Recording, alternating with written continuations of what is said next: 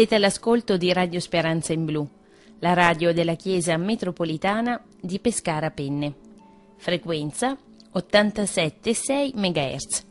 Sono Elena Prizzi. Cari ascoltatori, bentornati alla rubrica dedicata all'importanza delle fiabe e delle favole per l'educazione dei bambini. Oggi racconteremo più storie che non appartengono al mondo della fantasia, bensì alla storia della nostra Italia. Oggi, infatti, 4 novembre, si festeggiano più ricorrenze nazionali. San Carlo Borromeo, ma anche la festa dell'unità e delle forze armate. Il 4 novembre 1918 aveva infatti termine finalmente il primo conflitto mondiale, la Grande Guerra, un evento che ha segnato in modo profondo e indelebile l'inizio del Novecento e che ha determinato radicali mutamenti politici e sociali. La data, che celebra la fine vittoriosa della guerra, commemora la firma dell'armistizio, siglato a Villa Giusti, Padova, con l'impero austro-ungarico ed è divenuta la giornata dedicata alle forze armate. In questa giornata si intende ricordare in special modo tutti coloro che, anche giovanissimi, hanno sacrificato il bene supremo della vita per un ideale di patria e di attaccamento al dovere valori mutati nel tempo che i nostri militari ancora oggi portano avanti. Quanti figli l'Abruzzo, come altre regioni, ha dato alle guerre nazionali e quanta storia è passata da questa regione. Storie di vita, appunto, che hanno arricchito le generazioni successive di insegnamenti e valori, come la nostra, che è bene mantenere vivi neanche nei più giovani. Dalle storie umane vicine, infatti, si impara molto e si educa tantissimo. È utile anche ricordare che la figura dei cappellani militari, ovvero dei religiosi che seguono le truppe, nacquero proprio durante la Prima Guerra Mondiale e che Papa Giovanni XXIII, il santo Giovanni XXIII, venne dichiarato tale proprio per il suo operato come cappellano militare durante la Prima Guerra ed è stato nominato santo patrono dell'esercito. Da un punto di vista religioso, però, la giornata di oggi è dedicata e merita tanto spazio il santo San Carlo Borromeo, che è stato tra i più grandi vescovi della storia della Chiesa. Grande nella carità, grande nella dottrina, grande nell'apostolato, ma soprattutto grande nella pietà e nella devozione. Diceva il santo, le anime si conquistano con le ginocchia. Si conquistano cioè con la preghiera e preghiera umile. San Carlo fu uno dei maggiori conquistatori d'anime di tutti i tempi. Ma chi era come personaggio? Era nato nel 1538 ad Arona, sulla rocca di Borromeo, padroni del lago Maggiore e delle terre rivierasche. Era il secondo figlio del conte Giberto e quindi, secondo l'uso di quei tempi, fu tonsurato a 12 anni. Il giovane prese la cosa sul serio. Studente a Pavia, dette subito prova delle sue doti intellettuali. Chiamato a Roma, venne creato cardinale a 22 anni. Gli onori e le prebende piovvero abbondanti sul suo capo, poiché il Papa Pio IV era suo zio. Amante dello studio, fondò un'accademia, secondo l'uso dei tempi, detta delle notti vaticane. Inviato al Concilio di Trento, fu indispensabile con il suo operato per attuare le direttive conciliari. Si rivelò anche un lavoratore formidabile, un vero forzato della carta e della penna. Nel 562, 1562, morto il fratello maggiore, avrebbe potuto chiedere la secolarizzazione per mettersi a capo della sua potente famiglia. Restò invece nello stato ecclesiastico e fu consacrato vescovo nel 1563, a soli 25 anni.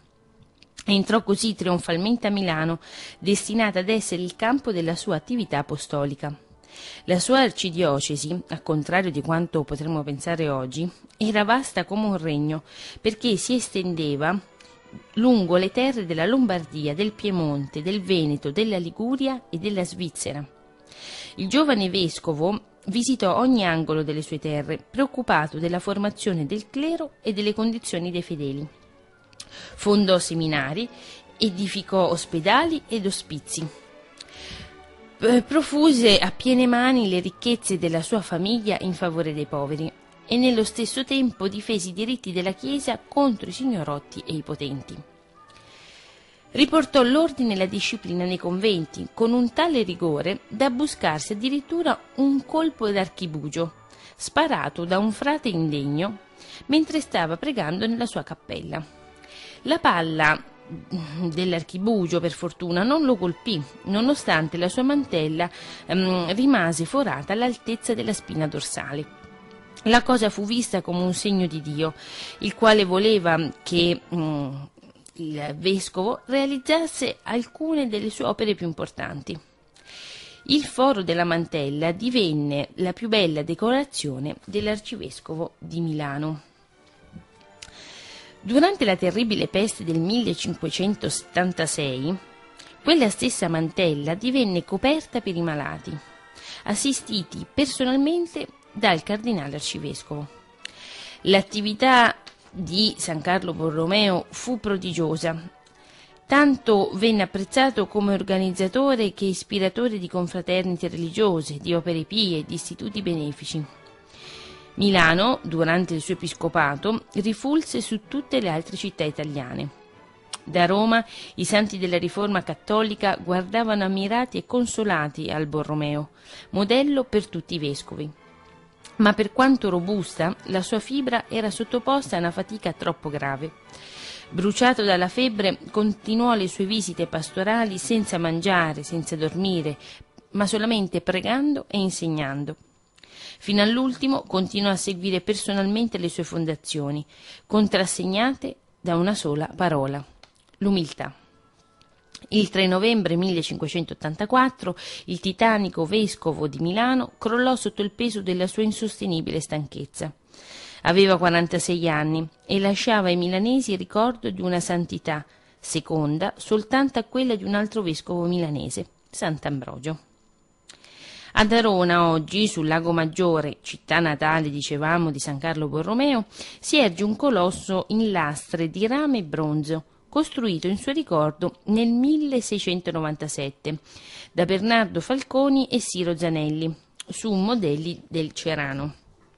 La statua è alta 23,40 metri, al di sopra di un piedistallo di 11,70 metri.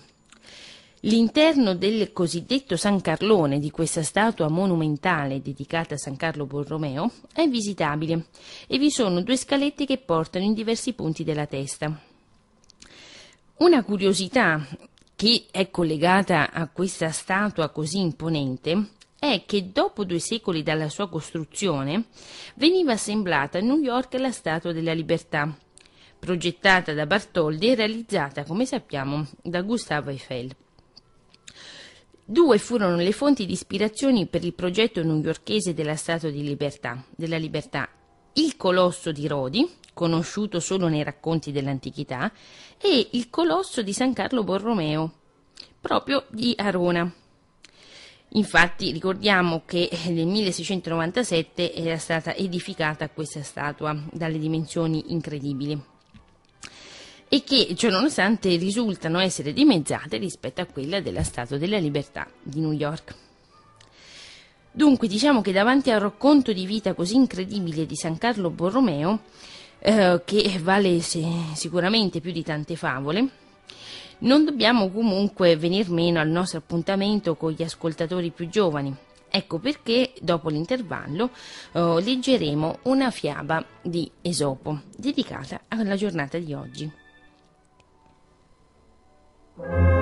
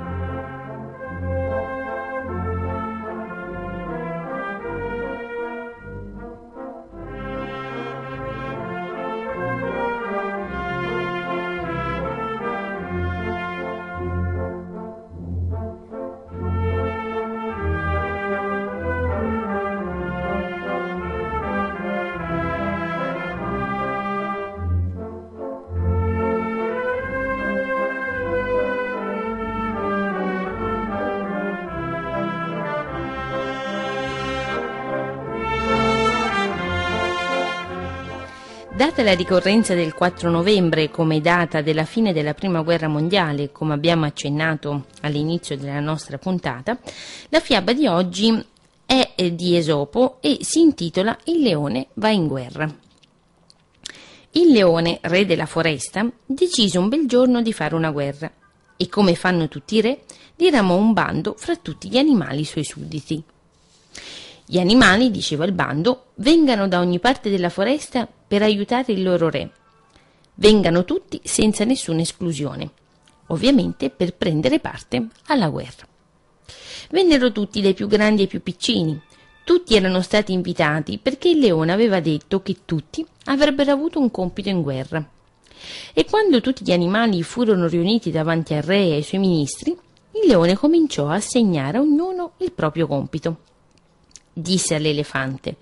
Tu hai molta forza, combatterai, ma porterai anche l'artiglieria e tutto quello che occorre ai tuoi compagni. Poi disse alla volpe. Tu che sei la più furba degli animali, mi aiuterai a ingannare il nemico. E tu, disse all'orso, che sei forte e agile, sarai utile quando dovremo assalire le fortezze. Scavalcherai infatti le mura e conquisterai in breve tempo la città. Ad uno ad uno il leone chiamò tutti gli animali e trovò per ognuno un compito preciso per questa guerra che stava per iniziare.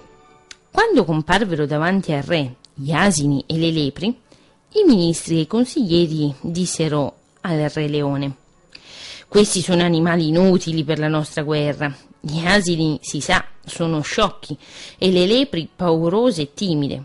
Cosa ne facciamo? Mandiamoli pure via. Ma il leone rispose ai suoi consiglieri e ministri L'asino ha una voce più forte della mia. Sarà un'ottima tromba per chiamare a raccolta i soldati. La lepre invece è velocissima e porterà i messaggi da un luogo all'altro. Il leone, che era saggio, sapeva bene che tutti erano utili e infatti disse Dovete imparare che tutte le creature sono utili se usati inoltre al momento opportuno e sfruttando di ognuna di esse le loro capacità. Grazie per l'ascolto.